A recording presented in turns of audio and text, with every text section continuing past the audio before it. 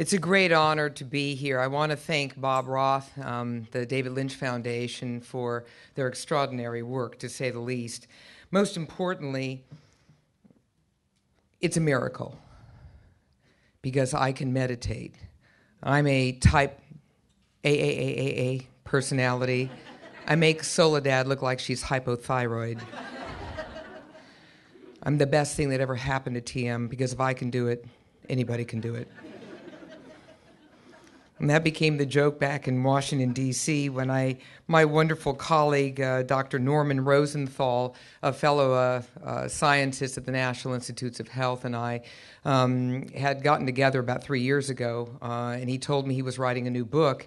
And um, I said, gee, another one on seasonal affective disorder? And rock on, man, it sounds really cool.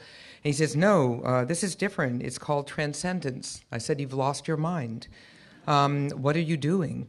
And he said, "Well, I, have you know this this whole thing about transcendental meditation, Pam. You have to do this." And I said, "Really? I have to schedule breathing right now because I was scheduling. I was living on Virgin Airways between Washington and L.A. filming for the Discovery Channel." I said, "You know, four days in a row. Are you out? Of, I can't even see my husband four days in a row, and you want me to do what? Stay still." Well, I'm also an athlete, so my idea of a good time is well, in three weeks I'm running the Boston Marathon to give you a small idea of how that one's going to go.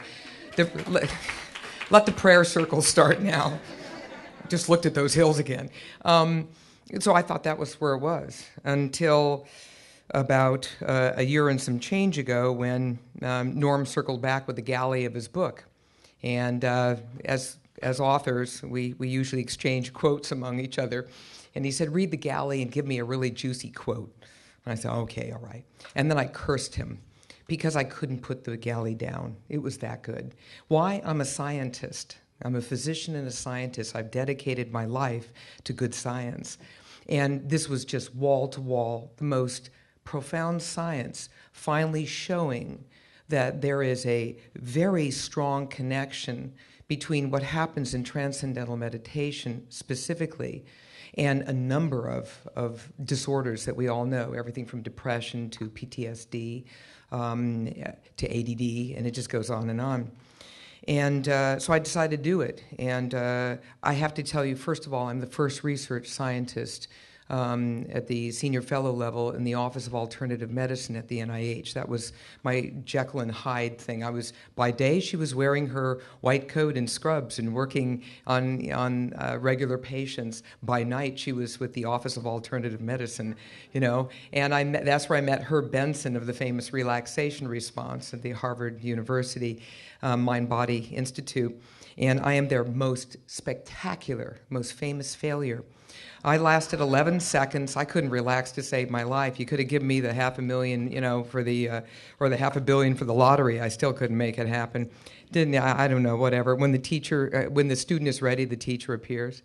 So when uh, I finished the work with uh, Norm's book, it was uh, it was very interesting. So I marched in to the people, uh, Mario and Linda, down at the Bethesda TM Center, and I warned them ahead of time. I said, "I'm coming." Now, as I sat down, I said, We have rules. Okay? If I see any candles, I'm out of here. Okay? I'm not changing religions. I kind of like mine. It's a little flawed, but you know, it works. Right? We're not sharing. No circles are forming. Stay away from me. And I just finished a triathlon, so I have hair on my chest. So mess with me. And Mario stood up and he said, Ah, oh, Dr. Peeke, we knew you were coming. We were ready for you. We have a customized form of meditation for you. We call it warrior meditation. I said, Yeah, I like that. Let's sit down. Let's rock. Then I said, 20 minutes? And then a small miracle took place. It fit like a glove. And I haven't stopped, and it's been a year and a half. And it's been fantastic. So I'm a physician and a scientist with a mouth in multimedia.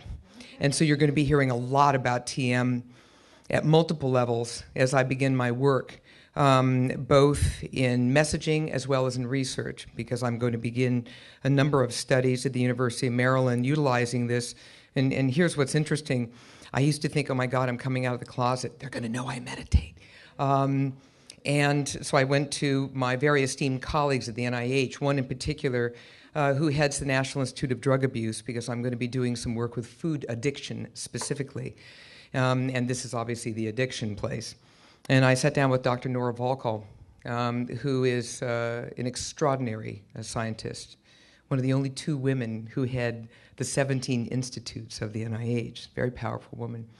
And I sat down and, and I said, I have a very extraordinary and amazing potential uh, solution um, that could be added uh, to our armamentarium of what we want to do in addition. In, in addiction, she's really what? She's sitting on the edge of her chair, almost falling off.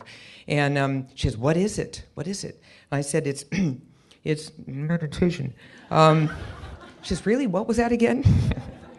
meditation. And I said, "It's it's it's meditation." She says, "That's fantastic." She says, "Will you write a protocol?" I would love to fund that. Now I fell off the chair. Um, I said, Really? You want to fund it? Um, she says, Of course, nothing else works. Who knew? Hey, look, you put it out there. What's the worst that can happen?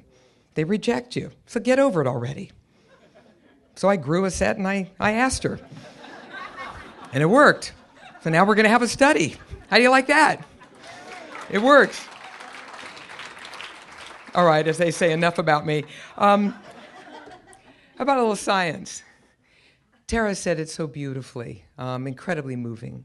Uh, Charles Darwin once said that those who survive are not the strongest or the smartest, they're those who can adapt.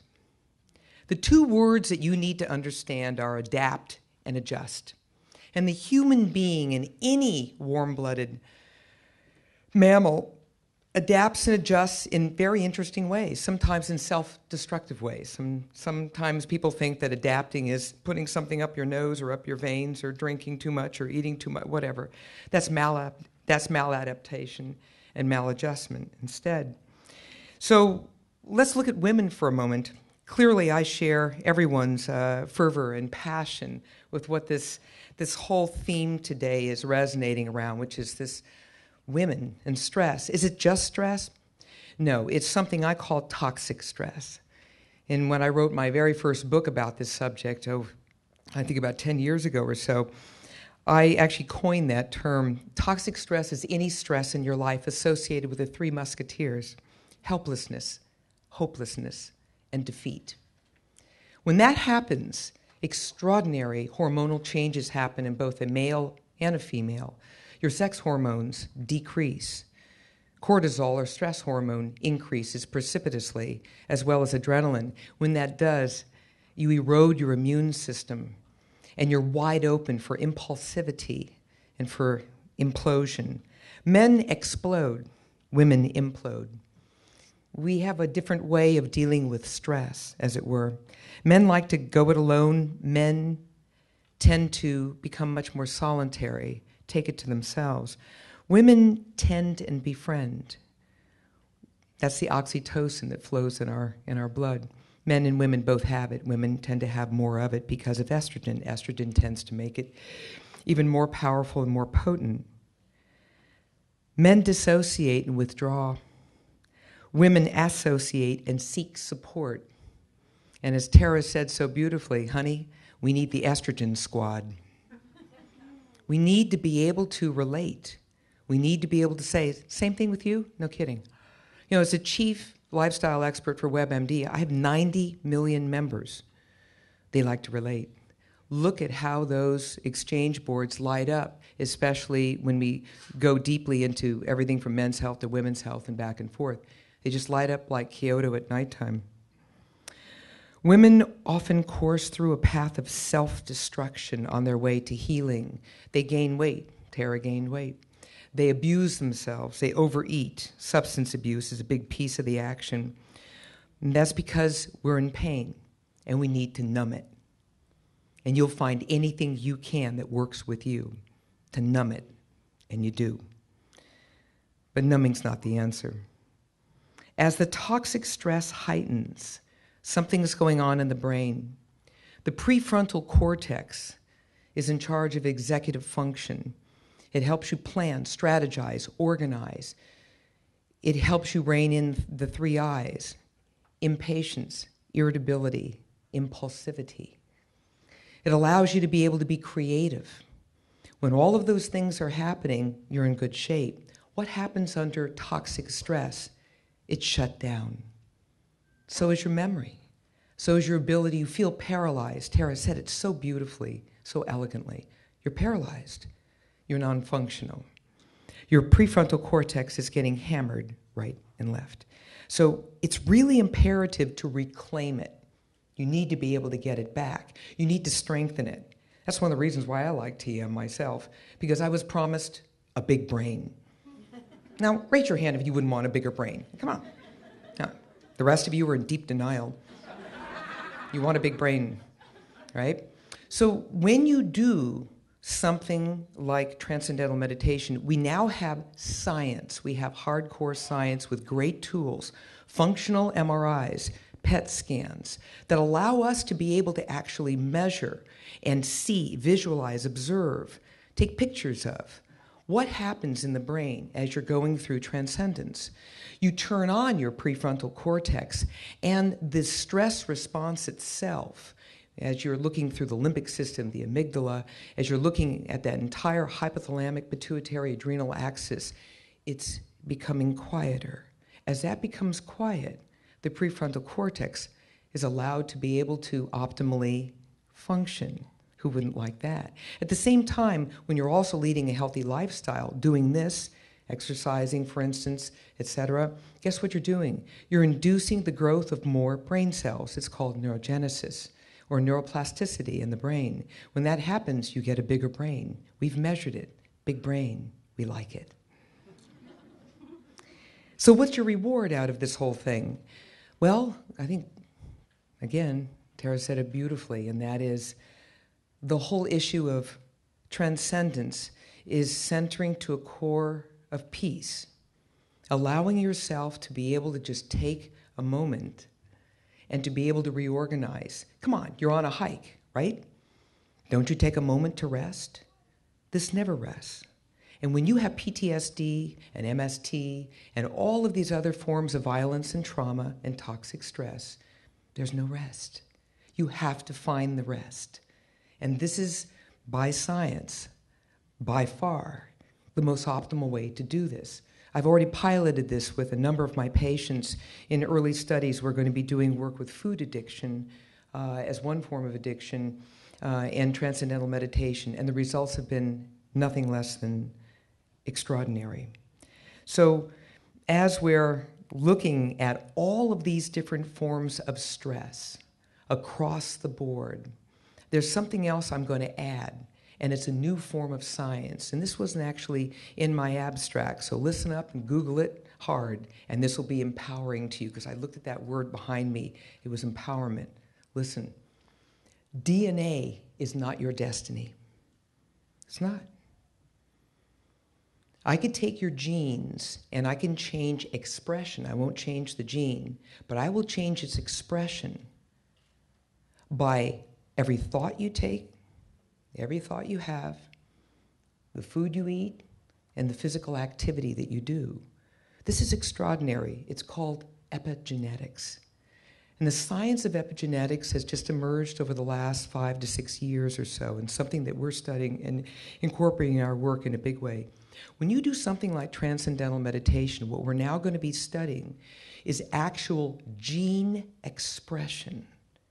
So, whereas that gene may be leaving you wide open and vulnerable for depression, for anything that happened to you, either in utero or in your own environment, you have the power to change the genetic expression to your betterment. And it starts with your head and a healthy lifestyle. It's kind of what I call my three M's mind, mouth, and muscle. Easy way to remember it. So just remember, you know, what Tara said was so important. What those children of those mothers who've experienced the trauma are now undergoing is our changes. These are genetic expression changes. And you want those to be as positive, as empowering as possible. And that will only happen if you take the right actions mind, mouth, and muscle.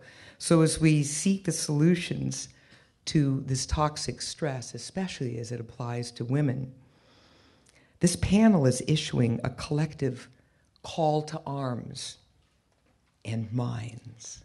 Thank you.